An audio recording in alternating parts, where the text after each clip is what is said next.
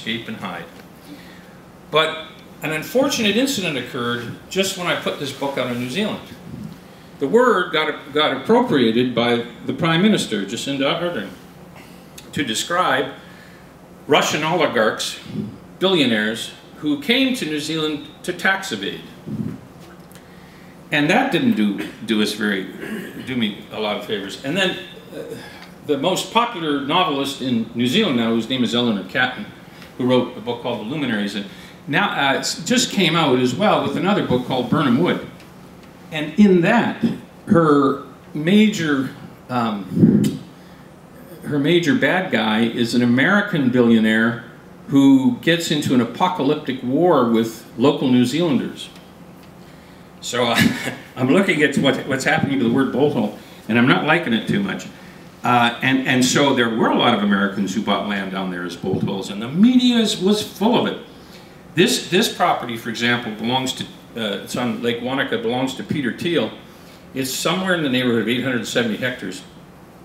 And um, he, he was the guy that um, started PayPal and he, and he campaigned for Trump and now he's down there. Um, but he doesn't have a bolt hole. He has a land bank. So I have a bolt hole. Okay, and, and now, of course, Jacinda has banned foreigners and especially billionaires from buying land banks down there. So I had to present my talk in the context of all of this stuff. My bolt hole is a stream in the Coromandel, that's all. Except in the book I also describe it as the metaphysical mortal dividing line between running from contamination and searching for redemption. Or maybe it was the other way around. There are other places in the bolt hole. We have this this great giant mountain called Blackjack Hill that we have to get over. There's beaches and hotels and bars and maraes and gum diggings, gold towns and mines, stamper batteries, and all kinds of roads. So I had to come up with some characters, and to do that, I needed to appreciate the fact that there are essentially three historical periods in New Zealand history, if you want to just lump it into three. There was the age of the Maori, the age of stone, there was the mining era, the age of gold, and there was the modern era, the age of chrome. So I came up with some characters for each of these eras, and then I had a problem, and I'll tell you about that in just a second. So, in the Maori era,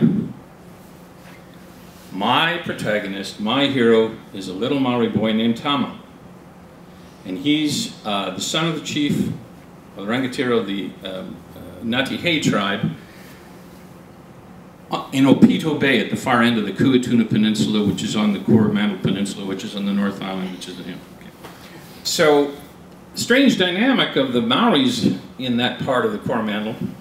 Um, there really only there was really only one thing that happened historically with the Maoris, and that is the Ngāpuhi, who were the big northerners, who were tattooed all over, who were fierce and more rugged than anything that existed elsewhere in, in, in, New Zealand came running down the peninsula every few years because they were hungry.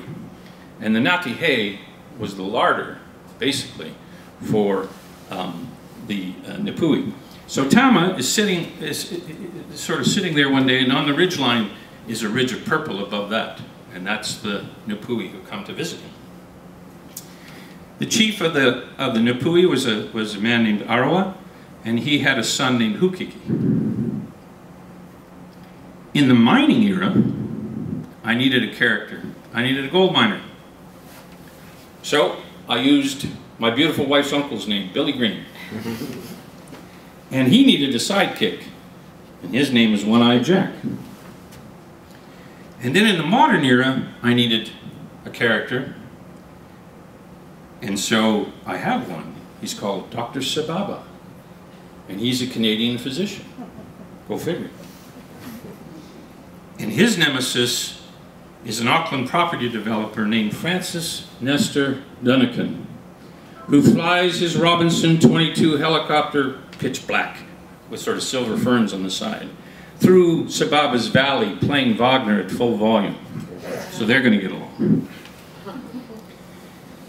So if you imagine who these people were, Tama of the Ngati Hei, Billy Green, the gold miner, and Dr. Sababa, there's some problems with having three subplots in a story that never meets. You would think. You see, I grew the beard because Dr. Sababa had a beard. For you uh, cognoscenti in the audience, do you know who that picture is of Dr. Sababa? Bethune. Bethune. Bethune. Okay, Charles, you get to play the bonus round. Okay? so, the bonus round is this. There were a lot of doctors that were revolutionaries. I'm going to name you five. Bethune, Sun Yat-sen, uh, Jean-Paul Marat, uh, Joseph Warren, and Che Guevara. And my question to you, or anybody else, is what did these five doctors have in common?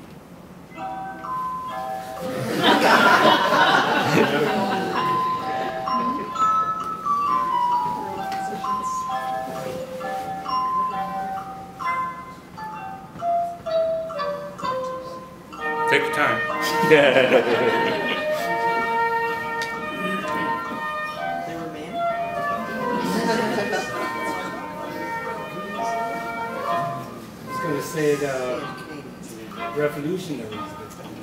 They all were, yes, but other than that, does anybody know? They all had Scottish professors.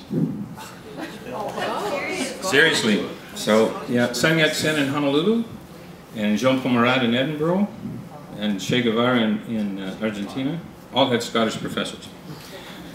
Okay, so before I, I try and link up these three characters for you, I need to give you a feel, a sense of what their lives were in the centuries they lived in. Because these guys are just three names on a page, right? So that's what I've done. I've got a little, little short five-minute slideshow that's going to take you through what Tama thought of the bolt hole of that stream, because that's, that's the thing that links them is the stream. What Tama thought of it, what Billy Green's bolt hole was, and what Dr. Sababa's bolt hole was. So sit back, relax, enjoy.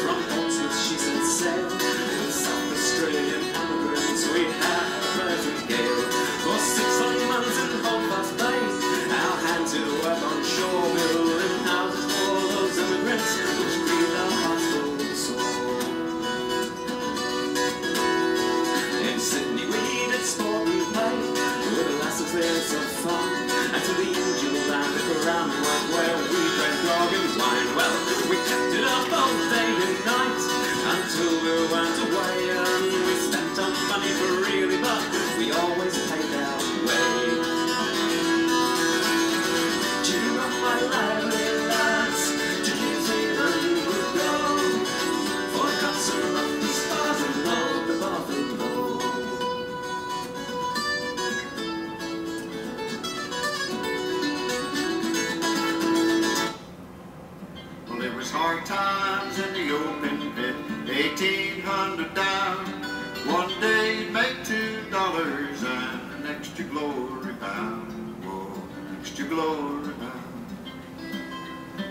So I dodged the rocks from the sudden slides and I swam out of the flood. And the rain and cold, dug for gold, the water and the mud.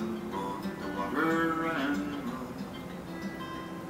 So there's color in the eagle's eye and in the sun at the break of day. But there ain't no color